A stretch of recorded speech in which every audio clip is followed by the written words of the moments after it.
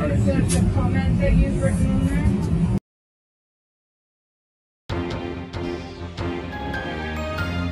Today in Clown World, we are covering two stories. The first story is of an Allegiant Airlines passenger getting kicked off his flight because he had Let's Go Brandon written in tiny writing on his mask.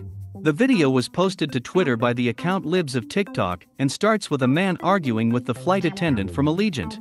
The stewardess references the comment you've written on there in regard to the message on the mask. The video's caption alleges it was a Let's Go Brandon mask, a slogan mocking President Joe. Allegiant confirmed that the passenger was removed but claimed it was because he had disobeyed the flight attendant. Can I ask you to wear a different mask, please? Yeah, but can you tell me why exactly? I'm sorry. Of the comment that you've written on there. I'm allowed to actually ask if you can tell me how many was So I'm gonna ask you to put a different mask on or I'm gonna to So is that a violation of my rights?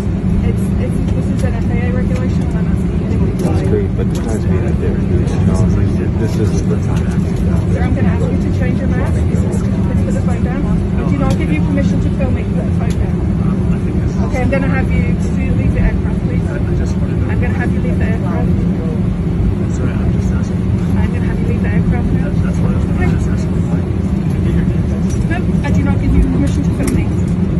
Just see the That's from your seat. Please leave your seat. Do you have any bags in the overhead bin? I do, yeah. If you could get those down, please.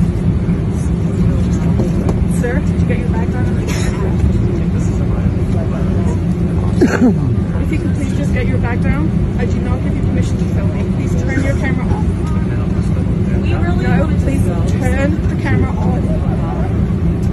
Okay, you can get your bag, please. Just tell me why. I'm gonna ask you to get your bag. That's fine. I'll just, I'll just get it. Drop it.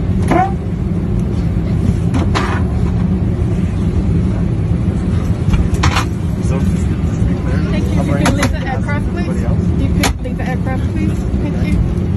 Wow. Sorry.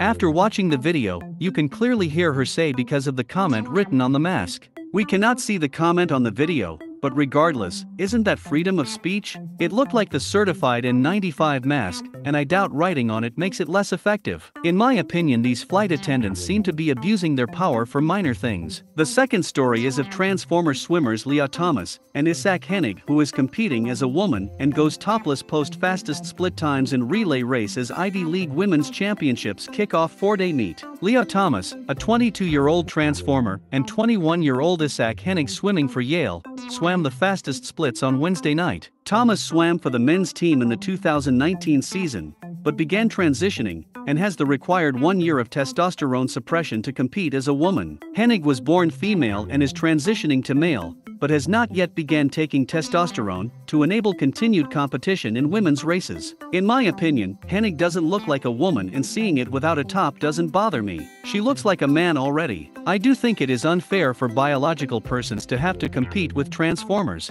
I think they should create a transformer category and let them compete there. Those are my thoughts. What are yours? Leave them in the comments below. Please share this video for education and awareness. For the Dum Dum News channel, I'm Dum Dum.